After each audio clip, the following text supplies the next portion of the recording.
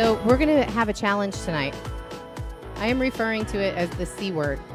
If you say the word, you owe me $10,000. The C word. Yeah. don't ask me to say it because then I owe myself $10,000.